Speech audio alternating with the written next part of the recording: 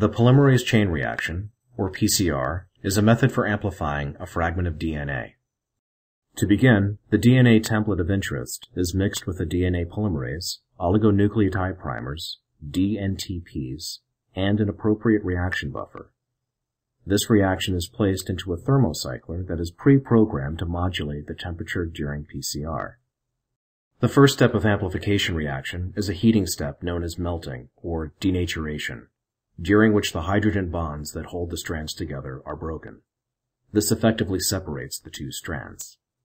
Next, the temperature is decreased during the annealing step. This allows the primers to anneal the complementary sequence on the template DNA strands. During the third step of PCR, the temperature is raised slightly, and the DNA polymerase extends the primer template duplex by adding the complementary nucleotides one by one to the nascent DNA strand. Once the first strand is copied, the process is repeated by cycling back to the first reaction temperature for the next round of denaturation, annealing, and extension. This three-step temperature cycle is repeated approximately 30 times, which results in exponential amplification of the sequence of interest. This method of DNA amplification can create up to 2 billion copies of the original DNA only after 30 cycles. Visit confidentpcr.com for help with selecting the right DNA polymerase for your experiment.